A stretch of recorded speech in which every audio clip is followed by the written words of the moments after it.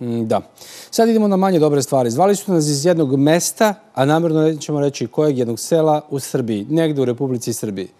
Da izveštavamo o Kju Groznici i o problemima sa kojima su se tamo suočili.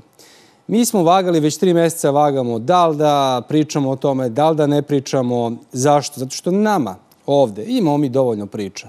Imamo mi dovoljno senzacija. Nije nama do senzacije. Nama je do toga da na neki način našom pričom pomognemo ljudima. A šta ćemo uraditi ako sad kažemo koje je to selo, ako sad kažemo šta se tamo pojavilo, ako sad ispričamo celu tu priču, dakle više niko neće kupovati sir, iako je bezbedan od pasterizovanog mleka, odmah će da im obore cenu mleka, odmah će da ide lošije prodaje junica, odmah će tu da nastane neko življavanje, ucenjivanje i tako dalje. Oni su već sad podloženi nekim ucenama, a tek će to da im rade. Dakle, dragi moji koji ste nas zvali protekla tri meseca.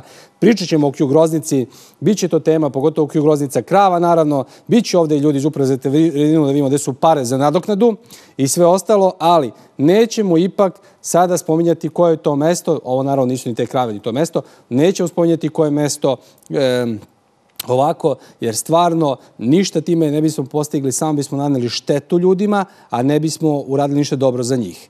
E, uradit ćemo, nadamo se, nešto razumno, zvaćemo ovdje iz uprave za veterinu da pitamo ide su pare i šta da radimo. Kju groznica nije najmno oboljenje, odmah da vam kažem, ali može da se kontroliše i može da se sve to izleči što da ljudi trpe posljedice posle zbog toga. Inače, to je jedan redkih agensa koji se koristi, planira se koristi u biološkom ratu, to koriste Amerikanci. Sad idemo dalje. Idemo ipak na neke lepše teme, idemo na inovativnost. Mi često pričamo o ljudima koji naprave nešto